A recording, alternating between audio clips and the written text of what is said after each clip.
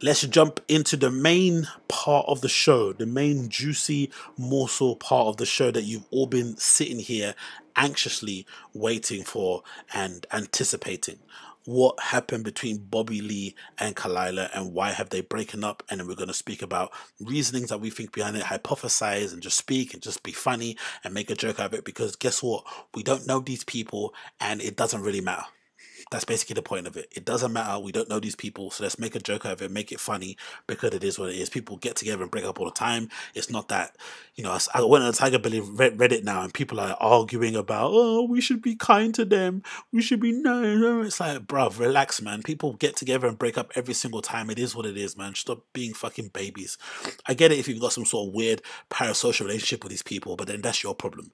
Do you know what I mean? You shouldn't be that attached and fucking um, invested in someone's relationship to that extent. Like it's sad, don't get me wrong, cool, because you know, no one likes see anybody break up. It's like no one wants to see a fucking kid get pushed on the floor or fall over or whatever it may be. But sometimes if you see a woman fall over and trip in the supermarket, you laugh because it's funny. It is what it is. you know what I mean? I know I do anyway. So as you guys are aware, I think most of you are aware by now, it has now been confirmed, I guess, by this podcast title that Bobby Lee and Khalyla have broken up, and they were, you know, the center of this channel's attention because of all the stuff that happened with Brendan Schaub and Annie Lederman. But in general, if I'm completely honest, I don't really know that much about their relationship. I used to watch Tiger Belly a bit when they had their old studio then I kind of got put off by it because I guess I was just bored of the stick. I realized quite soon that I get tired of comedians that have like a stick thing. Like Bert Kreischer is a similar sort of thing, like that kind of adult frat boy thing.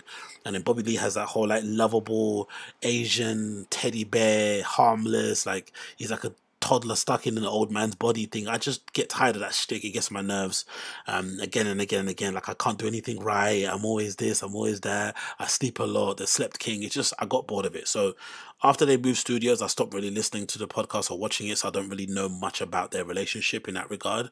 But I do know that um, Khalyla played a big part in Tiger Belly, played a big part in Bobby Lee, um, you know, bloody joining up with fucking Andrew Santino and doing um what, what's that show they do? I forgot the name of it, but you know what they do. And just in general in terms of his career, because it felt like for a long time he was at some sort of plateau, like a stagnant. And if you let's be honest, too, if you compare it, there is some similarities between Bobby Lee and Khalyla's relationship and Bryan Callen and Brendan Schaub's relationship. Like Bryan Callen was also kind of stagnating and a bit on a kind of, you know, just evenly coasting along. And then Brendan Schaub came into his life. They started firing the kid, and they, they both sort of benefited a lot from it career wise. And you know, Bryan Bryan especially because he was trying to become an Hollywood actor for the longest time and never quite worked out. And off the back of that, he was able to secure something that he didn't have for a long time in a new TV show and did that. You know, what's it called? Um, Schooled. And he oh no, the Goldbergs, and obviously did his offshoot thing called Schooled. So I think there's some similarities there between the both of them in that respect. So in terms of a professional thing, maybe it is a bit upsetting that way because you know Bobby wouldn't be here without Khalyla. But I'm sure in the you know at the heart of it, Bobby Lee's the fucking star. He's the quote unquote talent. Um, he's the one most people come in and tune in for. Towards the end of the show, it felt like whenever you went on the Tiger Belly subreddit, people would be complaining about Khalyla anyway, like they hated her and she was annoying and she that she kind of was a vibe killer. But now suddenly they're broken up and everyone's crying and making it seem as if like she was fucking I don't know the female Steve Jobs or something. It's a little bit extreme, one under the other. But anyway, regardless. So they did a podcast together and I guess they, they decided to announce to the fans that they're breaking up, which I don't really understand why you would really, but I guess if you've if the fans are somewhat invested in your relationship and you made it the basis of the show, maybe you owe them an explanation, but I don't really think you should personally for me, even being a content creator, I don't think just share everything with your fucking audience. But I guess in that respect, they kind of had to. And if you want to kind of nip it in the bud and not have people kind of harassing you in the comments every single day, maybe just addressing it outright is best way to go about it. But you know, I think it's a little bit redacted personally. So I think it starts at what is it, 105.15. So let's move it along here. They got timestamp, which is fucking amazing, and we're gonna hear what they have to say about the breakup. We're gonna laugh along with it, make some jokes, and just keep on keeping on a little uncomfortable for me. Wait here. Wild card. Admit something. Okay, this is it. All right. So, do you want me to open it then? Um. Yeah, if you if you want, Bobby. Oh God, this is hard. All right. I just want to announce to everybody that Khalyla and I are no longer together. Um, it's been o- not over. It's not over. I mean, in the sense that you know, just in terms of optics, right? Just in terms of optics, being a comedian is fucking one of the best jobs in the world, and it really has to be, right? Just in terms of fucking life, um, in terms of how you get to live your life, right? Because again, not to judge anybody, and everyone's allowed to do what they have to do, but how does how does somebody that looks like this end up with someone that looks like that? And then how are they also in a position to be like, you know what, I'm ending it because I want to move on. Like he generally looks. That's what some of the comments. Pavilion end. He looks really relieved. He looks kind of like okay with it. She's still fucking distraught. Like she looks destroyed. Like she's been crying for like a week. Do you know what I mean? Like she look. This is a woman that's clearly still invested and still feels like fuck, man. I really thought we are gonna be together forever. So being a comedian is fucking amazing if you get to be an adult fucking baby in terms you get to kind of get indulged in all your vices and stuff. You get to kind of not really take responsibility never grow up and you also get to date amazingly good looking women. And then when you're bored you can just say i'm over it and do a podcast and rack up the views eat all the adsense and keep on moving on. Um but yeah i don't know. We i want to say that khalyla is the love of my life, my best friend. Um, if, if there was a book about my life, she would be. If there was ten chapters, she'd be four of them at least, five of them. Give me half. I'll give you half a, a chapter. Yeah, For half the book. um, she changed my life in so many different ways. She reinvented who I was, and um, yeah. Um, and the reason why we're announcing that is because um, there are things that people believe online that aren't true. And I want to address those things because. You see, that's immediately where the problem was for me. Immediately, the problem was for me in this relationship. It felt like, again, from the outsider looking in, it felt like these guys were in relationship together with each other, sorry, and they're also in a relationship with the Tiger Belly fan base and community and subreddit or whatever, yeah, the extended universe, whatever the fans call themselves, which is absolutely insane. Imagine being in a relationship with somebody, and I get it, it's content and you're on kind of, you know, video together, you're on social media together, and people kind of build a relationship, kind of build their kind of fandom based on how they kind of think of you guys together as a, as, as a pair, whatever. But why would people's opinions of how they view you acting on camera kind of why should that play into anything how you guys actually feel about each other personally? That's absolutely weird isn't it? Really bizarre but or it also could be a thing of it's just any excuse to kind of immediately press the button because they're both seeing it's not really going where it should be going. Maybe that's the case but i feel like mentioning mentioning the fans and what people are saying on the internet in the first minute or so of your explanation why you've broken up is really a really big red flag in my opinion. Because um, it's causing a lot of pain in our house. Um, and I'm going to start with my part in it. And my part is this. You know, years ago, Khalyla um, had this heart condition. And it started in the Philippines and she we were in the Philippines and I had to carry her into a taxi and we thought she was going to die. And um, you know a- after that you know at home we just would have the ambulance at our house two or three times a week. We'd always constantly go to the hospital at five in the morning. Um, and at that point in my relationship with her i changed a bit and it became um, I was just worried about her, keeping her alive. And I think that it shifted the relationship. You know what I mean? Um, you know, a lot of the sexual stuff that I felt before that had diminished, and it became more of a um, caretaker. Not caretaker. I guess it's a terrible word to use, but like I was. What? So she has a heart condition it now god almighty men can be so selfish man. Because it felt like again from the outside looking in it felt like khalyla was like Bobby's surrogate mum or something, right? She was like a, a, a girlfriend, a fiance, whatever, and also a mum. She basically looked after him because he couldn't do anything on his own. It's kind of a running joke about how he can't do this, he can't open the computer, can't, like all these things. I don't really think that are endearing. If you're a 50 year old man, you should be fucking on top of your shit, especially if you're meant to be the fucking main breadwinner and the fucking leader of a household. Like, get your shit together, do you know what I mean? But whatever. She comes in and she steps in and she kind of fills that void and is able to help him along, and it kind of benefits the both of them. So she's always been the kind of carer, I felt like.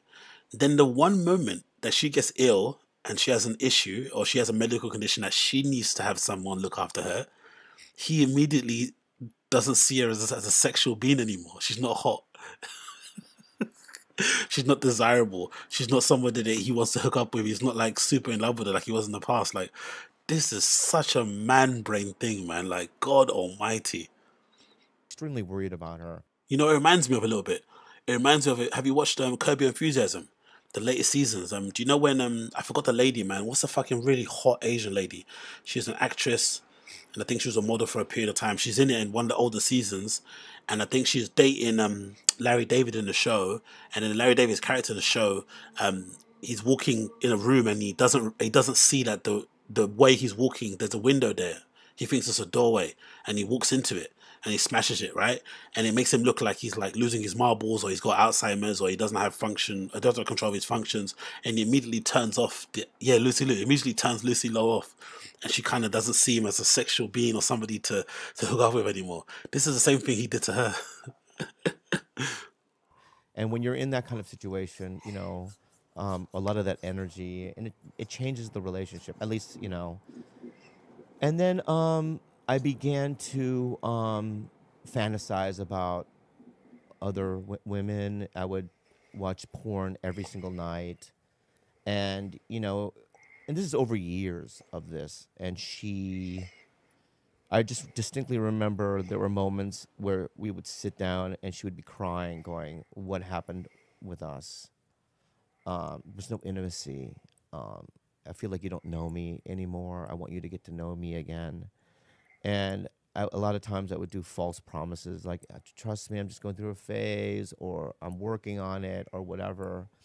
And I would um you know basically shrug it off and s- tell her that I was we're going to deal with it in the future or whatever it might be. But this is years of this. I mean in fact there were times where she would plan vacations so that she could rekindle some of the magic that we had lost you know? Um one time we were in Hawaii to do that. It was the first time I went to Hawaii that wasn't a work related thing. And um, I think we we tried, you know. Um, and it, it looked optimistic maybe sometimes, but um,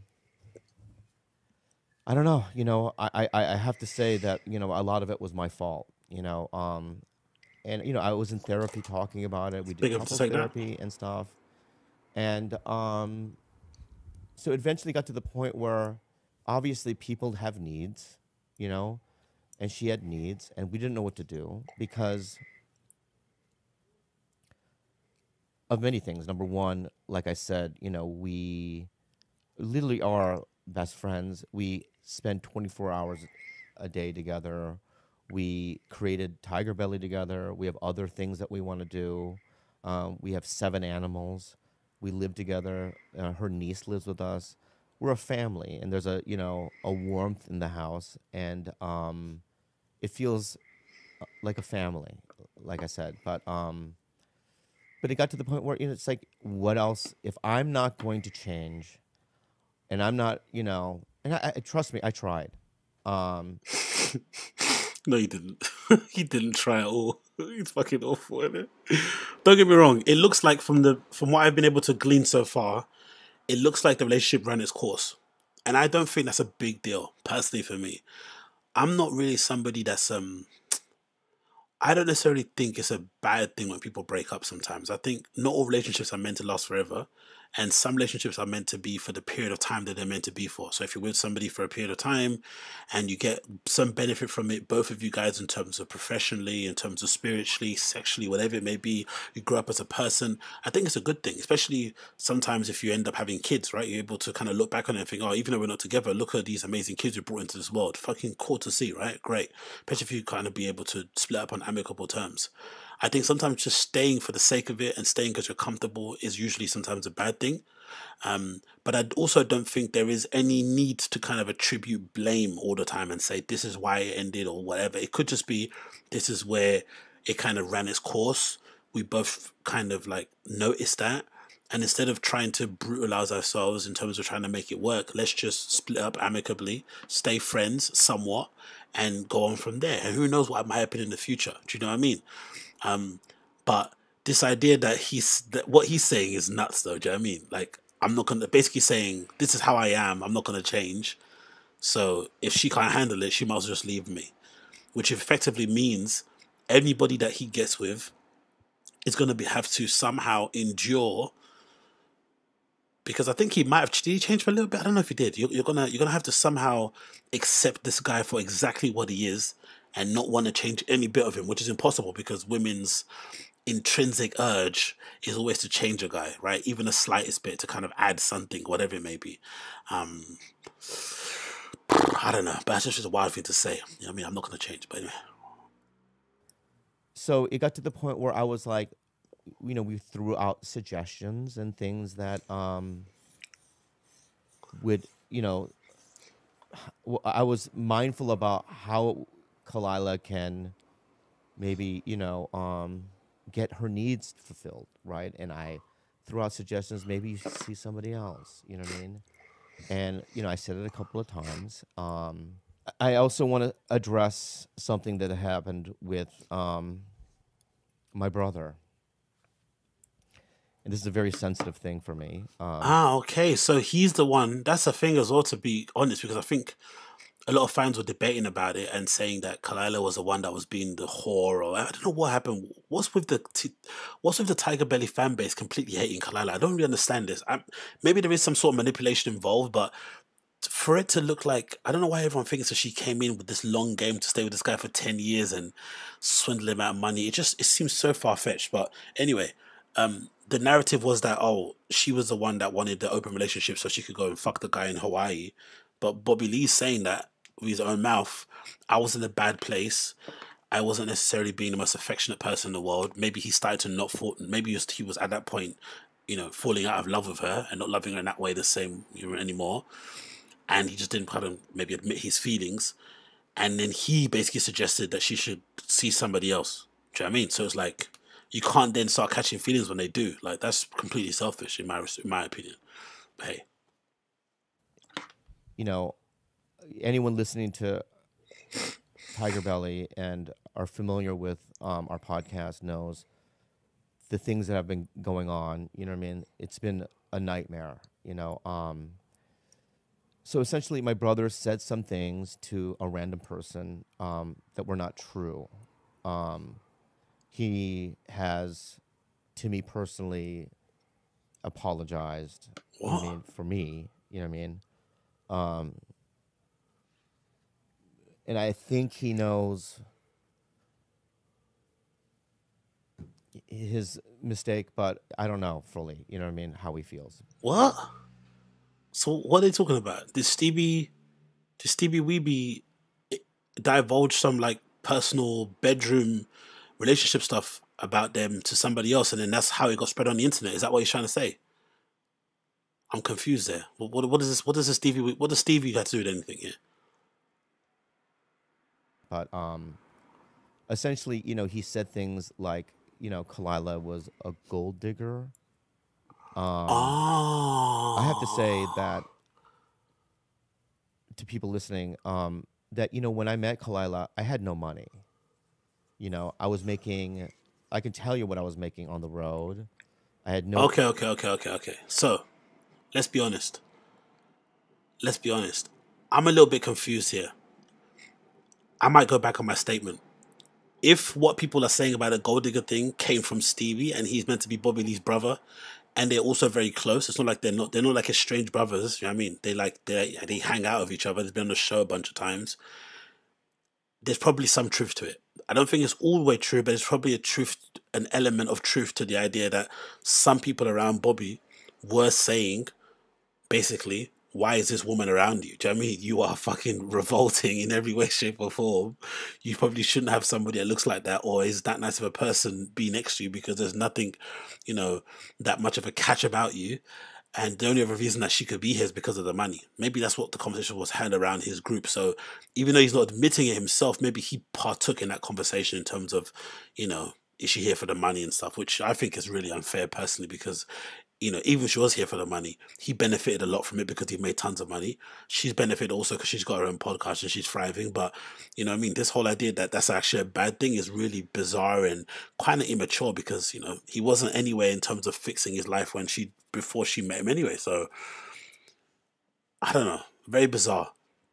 But also, it goes to show, man, these LA comics, LA in general is just a fucking cesspool of fucking horrendous people, in it? Even Bobby Lee's brother is out there fucking, um, you know, bad mouthing him, bad mouthing his girlfriend, gossiping, spreading rumors and whatnot. That's all getting back to the fucking subreddit. People are then going to attack Khalyla, they're attacking him. Like, these guys are fucking awful. Even to family members, bruv. Family members. These guys are fucking insanely horrible. Like, the worst of the worst, man. The worst other prospects of cash. The only amount of money I was making is through doing A, B room sometimes and getting not a door deal, but getting like, you know. Hey, yo, let's stop the cap. Robert Kim, stop the cap. She's not hot. He can get better looks wise. Let's stop the cap. Let's stop the cap. Let's stop the cap. We're all, you know, for the men in here, let's stop the cap. Come on, let's stop the cap. Um, I guarantee, you know, so it's not it's not I mean compared to to all my peers and stuff really and when I met her you know she kind of reinvented my thing I made my money with her she has her own money right the, all the things that I have in my life, right? Hold on, hold on, hold on. I see a chat here from fucking that absolute dweeb looseless. What's he saying here? I wonder where you got this idea from and the Shub take starting this identical stream 30 minutes right after I ended my live. Nice Bukaki goggles also.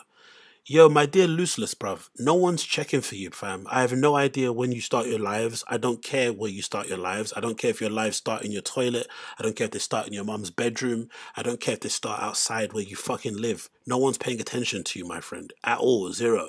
And me fucking connecting Brendan Schaub to fucking Khalyla and their relation and Bobby Lee's relationship is hardly some sort of fucking new fucking Elon Musk far out there idea. It doesn't take a genius to put those, those two together, man. What the fuck is this guy talking about? Like, honestly starting my stream just after yours. Who gives a fuck about when you start your stream? Who are we? We're nobodies, man. You're going on as if like we're fucking CNN and Fox battling for fucking attention. We're fucking no ones. We're just out here chatting shit, trying to entertain our viewers and trying to pass some times and catch some LOLs. Don't take it so seriously, my friend. Fucking hell. Like, what is this? You start your streams after I start mine. Like, what? The fuck cares about anything? Like, what is this nonsense? Start your stream now. It doesn't matter. Put your stream link in the fucking chat now. Put your stream link in the chat. It's okay. I don't give a fuck, man. It's just a fucking piece of. We're just joking around, having some fun. These guys take this. Oh yeah, yeah, man. Like, ah, whatever, man. Like, this isn't that serious. Go and watch Unique. Go and watch whoever. Like, I love everybody. Like, let's put. Let's all share. Let's all share viewers. Let's all share opinions. Let's all hang out. Whatever it may be. But just allow it, man. Like direct result of meeting her and her her and I building a business together. Um, other things have grown out of that. Like you know, my it rekindled my acting career. Um, you know, I've I've done well when it comes to selling things and whatnot. It's been very good, but um, you know, without her, I don't know where I'd be. You know, um, so him saying that she's a gold digger is not true. She's not. she's never asked for anything. Um, and unpopular opinion. So what if she's a gold digger? So fucking what? Unpopular opinion. So what if Khalyla Kuhn or Khan, however her surname is, is a gold digger? So bloody what? This guy was fucking desolate. This guy's career was stagnating. He still hasn't have he still doesn't have a special out at the moment. Even though everyone says he's amazing doing stand up, there's still not one recorded stand up special from Bobby Lee. He still supposedly does the same act he's been doing for 20 years. He didn't really have any direction where he was taking his career at. And Khalyla came into his life, and I'm sure for the talent that he has anyway, he was always going to be successful. But she has also helped and benefited from it. She's helped him and propelled his career. She's got some clout from it herself mutually beneficial. So what? She's a gold digger. You fucking got a whole career off the back of it. You're in. I saw him in the film with fucking what's her face, the woman from Sex and the City, Sarah Michelle Gellar or something. Is that her name or whatever her name is? Is that Sarah Michelle? Whatever that woman's fucking name is. He's in. He's in movies. He's got TV shows and shit. Like, who gives a fuck if she is a gold digger? You you still come up from it. Like I don't understand this idea that a gold digger in this kind of situation is a bad thing. It's not she she fucking boosted your career. You got to have a hot woman sit next to you, happen to really like you and banter with you. You built this amazing show. You got a great community. Win's a win. I, I don't know, man. I think there's just too much disrespect put in this woman's name, and I think in general, maybe because I've had some communication with a few partners and ex-partners of comedians online and stuff, and people have been sending me DMs. I feel as if the women in the stand-up comedy scene, bro, they get fucking treated like shit and they're legitimately the reason why a lot of these guys have careers. They allow them to go out on tour and do whatever they want to do and finger fucking 21 year olds in the back of toilets and shit and go on fucking, you know, what's what they think called uh, mini runs or whatever those things are called, indulge with their vices and they hold the fucking house down. Do you know what I mean? They look after the kids if they have any, look after the pets if they have any, and they get fucking treated like absolute crap. And most of them, all they want is just to be looked after. They want some attention, they want a couple of date nights, they want to fucking go on holiday, they want maybe a car here or there, some handbags, whatever it may be. And they still kind of complain. They still complain. These guys are fucking awful, man. She he um, said um, things like he's she's keeping, you know what I mean, me from other people or right or something like that or you know and um you know during the pandemic we didn't see anybody you know you know I'm, I'm tired of people thinking that i don't make my own decisions you know. Everything that i do i make my own decisions. I'm bobby lee. I do what i want right? We know that, don't worry, we know. i was super fucking scared. I didn't know anything about this virus. I didn't leave the house for a year and a half. I didn't even go to the grocery store for a year and a half right? And and and i didn't see my brother. You know what i mean? I didn't see my mom right? I didn't see anybody right? Um and you know i think that my, my brother thought that that was you know what i mean me disappearing or you know what i mean? Or you know what i mean? Something was going on you know what i mean that was like you know um i don't know. I don't know what he was thinking but um Yo, yo, yo, yo. and um just on that point, it basically goes to show that what you just said there, that the Bobby Lee family is full of just fucking, was it, is it hypochondriacs or um, anxiety ridden people? The whole family is full of people that suffer from some sort of anxiety. If Bobby Lee's brother was getting all these ideas that Khalyla was some sort of gold digging mastermind because Bobby Lee was afraid to leave his house because of COVID, these this whole family is fucking is a bit on the funny side, isn't it? This whole family is fucking nuts, legitimately. This whole family is insane. Bobby Lee, you know, Bobby Lee in his side, Khalyla gets sick and he immediately starts stops having a boner for Khalyla because he's looking after her. And then Steebee Weebee immediately gets these mad thoughts that Khalyla is some sort of witch that's willing to break up the family and steal all his money and all this sort of stuff and write him out of wills because he doesn't want to leave his house voluntarily. Like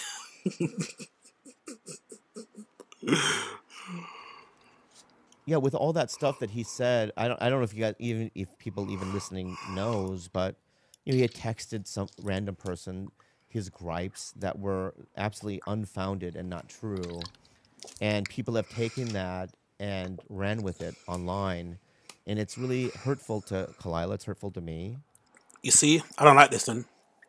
And again, I'm not gonna I'm trying I'm not trying to give Brendan Schaub any credit here, but they made it seem as if Brendan Schaub started the room on his own. They made it seem as if fucking BGL, that fucking coke ridden um, freak, they made it seem as if he just started room on their own. So basically, what the point is here is that that rumor about Khalyla being a gold digger and all this sort of stuff and a whore or slut or whatever it may be, it started from fucking Steebee Weebee, babe. That's what it started from. He started the rumor because I guess he was been speaking about himself with his friends or Bobby in general and stuff in secret. Yeah, yeah, yeah. These people are all gross, man. Like, no one comes out of this looking well at all, ain't it? Really. Um, and I just wanted to address it. So uh, you know, just and uh, you know, uh, another thing that I want to add is, you know, I was blatantly flirting with other people, and there was things that she caught me in that were like, you know, I mean, kind of, um, you know, it, it took her aback that I did some lying. You know what I mean? And there were things that you know Tiger Belly fans, all you guys who have been. Uh, uh, there's a subreddit I think on there where they just pe- post like mad, horrible things about Khalyla and clips of her saying some, you know, some whorish stuff or whatnot, or just being funny, whatever it may be, to make her seem like she's a bad person. All of you guys, I hope you're watching this fucking stream, or I hope you've watched this podcast, because clearly this was somewhat of a toxic relationship. They both were clearly at a point in their relationship where either they work it out or they break up and they broke up. But Bobby Lee played a huge part in the breakup, friend. A huge part in the breakup. My man's out here talking to other women. Um, he's he's out here flirting with other people. He immediately didn't have a boner for her because what? She dared to get sick or to have a heart condition, whatever it may be. She they're fucking spreading rumors about her being a gold digger behind the scenes. Like, come on, man, come on. Let's be fair. She might be she might not be the best human. I'm not saying she's fucking Mother Teresa right here, but the way you guys are making it spin as if like Bobby was the nicest, sweetest man in the world and he can do nothing wrong, when in fact he's the one that fucking started the cheating first.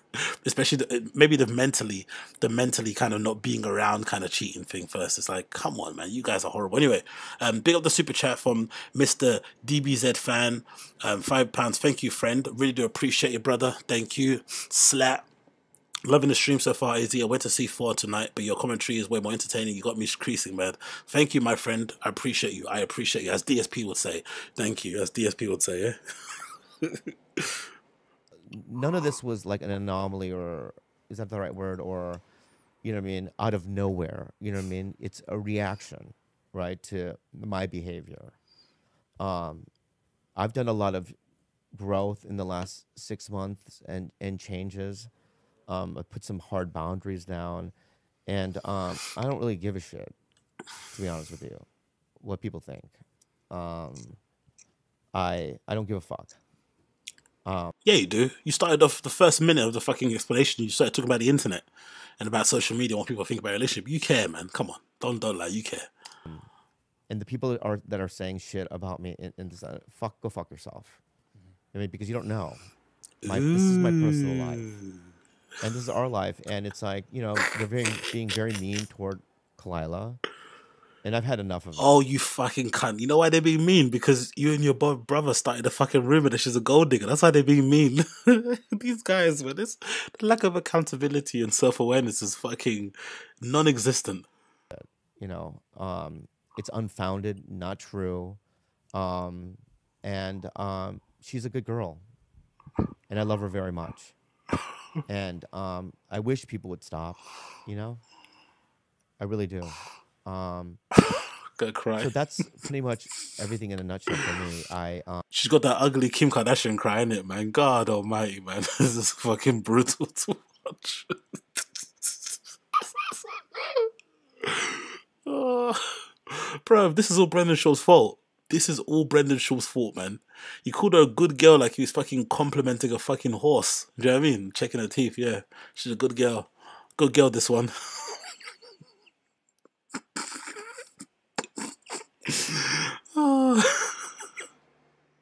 um, like, I mean, I love Khalyla. I love my brother as well. You know, um, he hurt me. He hurt me. It was painful but Bryan Callen threatening him on the phone to ruin his career, saying he's going to fucking roundhouse kick him, and then fucking Steebee Weebee spreading rumors that Khalyla's a whore and she's a fucking gold digger. Honestly, in LA, you really have no friends. And even these people in the room here, that's the funny thing about LA. All these people in the room are all paid. They're not even friends either. So it's like, oh, they're a family. They do this together as a family. No, they're not a family, bro. You pay these people to hang around with you.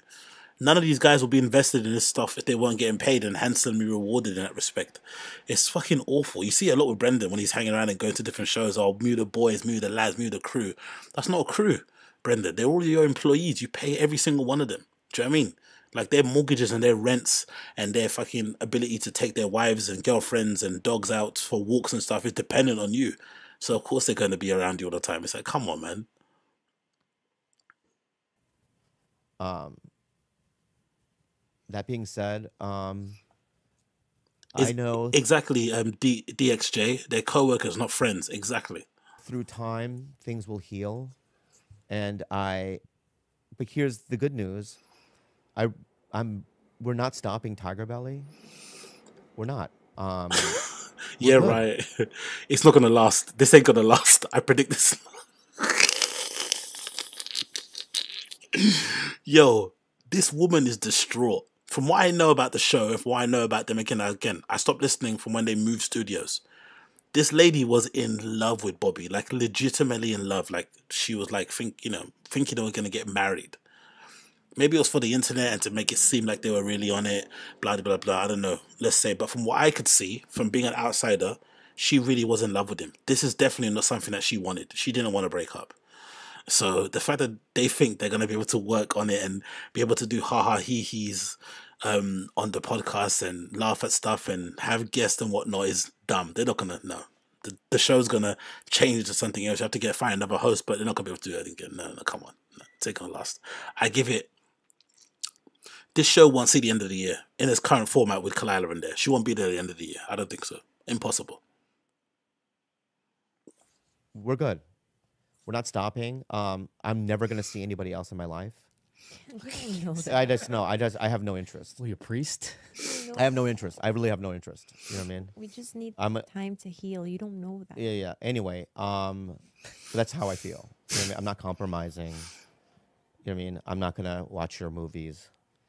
Yeah, I'm just telling the future. If there was a future, I'm not gonna go to your restaurant. I'm gonna eat what I want to eat. Oh, You know what I mean? I'm not gonna listen. I don't. You know what I mean? I'm gonna play 20 hours of video games if I want to, and whatnot. And so that's that. But if you have a real interest, in I have no interest. In, I have no interest in any of that. No, I'm just telling any girl. I'm not listening. a good I will not listen. I will not cuddle. I will not cuddle. I will not listen, and I don't give a fuck. All right, I'm not doing any of it. I, it's it's not who I am. So that's that. It's n- this has nothing to do with, you know, what I mean, anybody else or my desires or whatever. It has to do with preserving Tiger Belly. Khalyla and I work, work great together. We have great ideas. We're producing another thing together. We, we're going to do a book. You know what I mean? And you know, um, I'm super excited about the future of my business here. Um, we have a great The business that she handed to you on a fucking plate, mate. And this is how you thank her. you gotta love men, man. We're fucking unique. Men if if there's one thing men can do is um because I'm a full blooded male, I know and I know I have the ability to be an absolute piece of shit. I know I have the ability to be a fucking piece of shit. So if there's one thing men can do really well is immediately move on. He's completely checked out. He's done. Ten years, mate. Ten years. Ten years. And she's just doop, off. Love it. family. Um, and uh, that's it. That's all I wanted to say.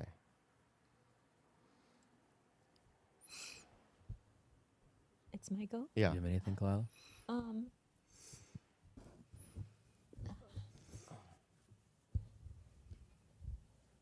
Yeah, Honestly, who's this that said this on? Let's let's see. Who's this who said this really? Let's look up again. Uh Wells Cargo. Wells Cargo, my friend in the chat. You must be looking at a different stream to me. The stream that I'm watching right now, I can see a fucking woman that's destroyed. She looks like look at this. That doesn't look like somebody that's like ready and willing and happy to go to the clubs and and get bukkake or whatever people talk. I mean, that this is like somebody that's like ready for the streets. This is somebody that's still trying to process a really difficult breakup. Like this doesn't look like a happy camper, in my opinion. I don't know where you guys are seeing that she looks happy. If anything, Bobby's the one that looks relieved. He's done. Look, he's completely fine. There's no emotion in whatsoever. He's fucking happy as a. He's happy, Larry. He gets to play computer games all day. uninterrupted. He gets to watch all his porn. He gets to hang out, smoke his weed, pretend he's sober. Like, do you know I mean? he gets to do all that shit. She looks like she's fucking destroyed. Like, destroyed. like, she's been crying for like months. But anyway, um, super chat time. Big up Kabul, Kablu. I think it says Kablu. Um, two dollar super chat. Thank you. What's that? What's I doing? Slap. You know the signs. I don't know what I'm doing. Uh, Bobby seems to be honest here. Minds are made up. Exactly, Kablu. Exactly. Bobby's mind has been made up. He's fine with it. He's over it. He's already thinking about his next holiday. He's thinking about what he's gonna eat later. What he's gonna order for fucking Uber Eats and stuff. West Wells Cargo said. Wells Wells Cargo said it's an act. She's been finessing the fuck out of hit this clown this whole time. Do you honestly think so? I don't. I, I don't know, man. You, you guys must be watching a, a different stream than me, or maybe you guys are way more invested in the Tiger Belly um, community and universe than I am because I'm just like a casual observer. But I don't see that, man. I I don't know. That's not what I see anyway. But anyway, I don't. I don't. Yeah, Alexander Jones. They've broken up, mate. They've just announced it. This is the podcast they recorded, I think, the other day, Alexander Jones. And they've announced that they're now broken up. Um, Khalyla and Bobby Lee are no more, but supposedly they're still going to continue fucking Tiger Belly, which I don't believe. This Tiger Belly show is not going to last in this current lineup until the end of the year. No way. Yeah, I just uh I'm sad, but I love you and Brendan Schaub somewhere like, yes! Theo Von. Bryan Callen. that fucking dumbass fucking man dragon shit he does. They're all over the moon, bruv. BGL, the coke ridden fucking steroid monster. He's happy about it too, isn't it? I see. I told you guys. I told you. He's probably gonna come with his fucking podcast soon, talking about how um what's his what, what's his fucking title of his show thing called? Some people say or they say something. He's he's he's gonna go on a fucking two page rant about this whole thing in it for sure, for sure. But um, yeah, it's hilarious. um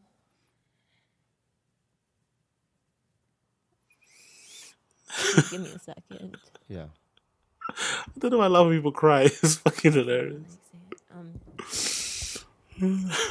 this podcast has like changed my life. I never thought that I could ever like dabble in anything creative. Yeah, exactly. It's Gabriel J. Haters say open relationships work. BGO is going to be fucking dancing on their grave of this fucking relationship. He's going to be over the moon. He's going to be, I told you guys, I told you, I told you. Fucking wallad. like you know that question earlier when you were like what's one thing your younger self would like never believe Yeah. is that I would even be allowed or that I would allow myself like a creative outlet. You know,